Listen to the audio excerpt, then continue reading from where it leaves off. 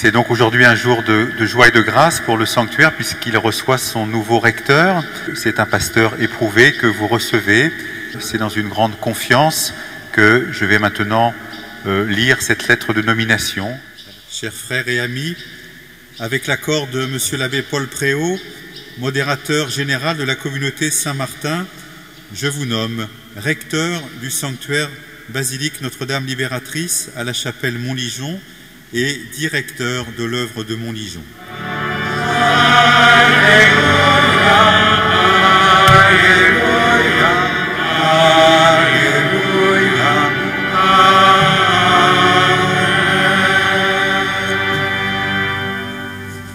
Jésus disait en parabole, Le royaume des cieux est comparable à un roi qui célébrait les noces de son fils.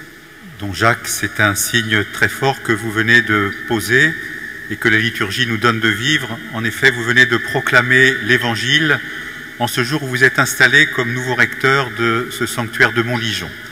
Et à travers cet acte symbolique, eh bien, c'est finalement votre première mission qui vous est rappelée, qui est la mission de tout prêtre et donc de tout recteur, de proclamer l'Évangile, non pas simplement, bien sûr, dans l'acte liturgique, de lire l'Évangile à la messe, mais par tout ce que vous serez, par tout ce que vous direz, par tous vos engagements, eh bien, il faudra que vous soyez dans ce sanctuaire un signe de l'Évangile.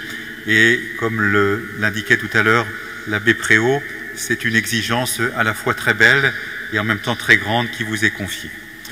Le nouveau recteur, dont Jacques, s'apprête à renouveler les promesses qu'il a faites le jour de son ordination.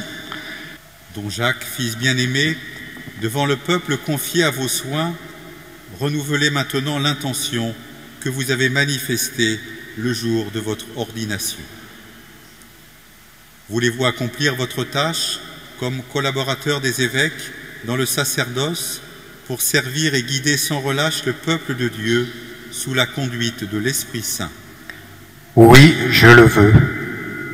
Voulez-vous accomplir avec sagesse et dignement le ministère de la parole en annonçant l'Évangile et en exposant la foi catholique Oui, je le veux. Voulez-vous célébrer avec foi les mystères du Christ, tout spécialement dans le sacrifice eucharistique et le sacrement de la réconciliation, selon la tradition de l'Église, pour la louange de Dieu et la sanctification du peuple chrétien? Oui, je le veux. Voulez-vous implorer avec nous la miséricorde de Dieu pour le peuple qui vous est confié en étant toujours assidu à la charge de la prière Oui, je le veux. Voulez-vous, de jour en jour, vous unir davantage au souverain prêtre Jésus-Christ qui s'est offert pour nous à son Père en victime sans tâche et vous consacrer à Dieu avec lui pour le salut du genre humain? Oui, je le veux avec la grâce de Dieu. Promettez-vous de vivre en communion avec moi et votre ordinaire dans le respect et l'obéissance Je le promets. Don Jacques, que Dieu lui-même achève en vous ce qu'il a commencé. Heureux les invités au repas du Seigneur, voici l'agneau de Dieu, celui qui enlève le péché du monde. Merci, Monseigneur, merci, Don Paul, pour euh, votre confiance.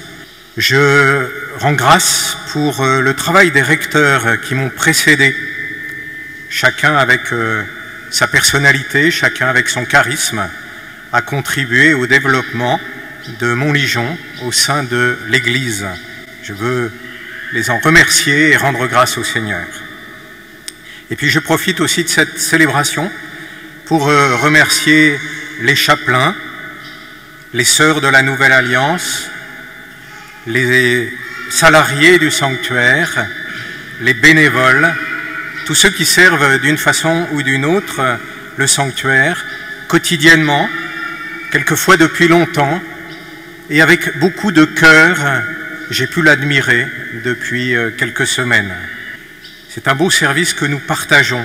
Nous avons à accueillir ceux qui sont dans la peine, nous avons à leur redonner de l'espérance, nous avons à faire vivre un lieu d'où l'on puisse annoncer plus généralement l'espérance chrétienne, annoncer le sens de la vie.